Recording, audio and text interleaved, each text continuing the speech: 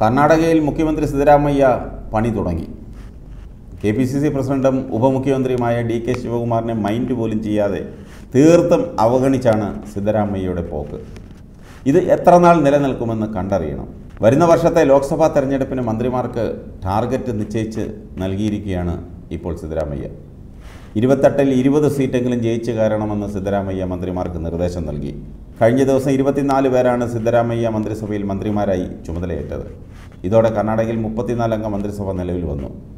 കോൺഗ്രസ് അധ്യക്ഷൻ മല്ലികാർജുൻ ഖാർഗെ നേതാക്കളായ സോണിയാഗാന്ധി രാഹുൽ ഗാന്ധി പ്രിയങ്ക ഗാന്ധി എന്നിവർക്കുള്ള സമ്മാനമായി അടുത്ത വർഷത്തെ ലോക്സഭാ തെരഞ്ഞെടുപ്പിൽ ഇരുപത് സീറ്റെങ്കിലും ജയിക്കണം. ഈ ലക്ഷ്യം മനസ്സിൽ വെച്ചുകൊണ്ട് പ്രതിബദ്ധതയോടുകൂടിയും സത്യസന്ധതയോടുകൂടിയും ചടുതലയോടും കൂടി ചുമതലകൾ നിർവഹിക്കുക.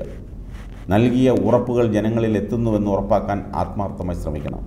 മുൻകാല തെറ്റുകൾ ആവർത്തിക്കരുത്. വകുപ്പ് വിവേചനം ഉടൻ പൂർത്തിയാക്കും. നിങ്ങളെല്ലാം സജീവമായി പ്രവർത്തിക്കണം. ബി ജെ പിയുടെ ദുർഭരണത്തെ തള്ളിക്കളഞ്ഞാണ് ജനം നമ്മുടെ കൈപിടിച്ചത് പ്രാദേശികമായി പ്രശ്നങ്ങൾ പരിഹരിക്കാൻ ശ്രമിക്കണം. വിധാൻ സൗദിലേക്ക് ആളുകൾ പ്രശ്നപരിഹാരത്തിനായി വരാൻ ഇടവരുത്തരുത്. ജനകീയ പ്രവർത്തനത്തിലൂടെ ലോക്സഭാ തെരഞ്ഞെടുപ്പിൽ മികച്ച വിജയം നേടണമെന്നും സിദ്ധരാമയ്യ മന്ത്രിമാരോട് പറഞ്ഞു. ഇതുവരെയുള്ള സൂചനകളനുസരിച്ച് സുപ്രധാന വകുപ്പുകളെല്ലാം മുഖ്യമന്ത്രി സിദ്ധരാമയ്യ തന്നെ കൈവശം വെച്ചിരിക്കുകയാണ്. ധനകാര്യം മന്ത്രിസഭാ കാര്യം ഉദ്യോഗസ്ഥ ഭരണം ഇന്റലിജൻസ് എന്നിവ സിദ്ധരാമയ്യയ്ക്കാണ്. ഉപമുഖ്യമന്ത്രി ഡി കെ ശിവകുമാറിന് ജലസേചന വകുപ്പും ബാംഗ്ലൂർ വികസനവും മാത്രം.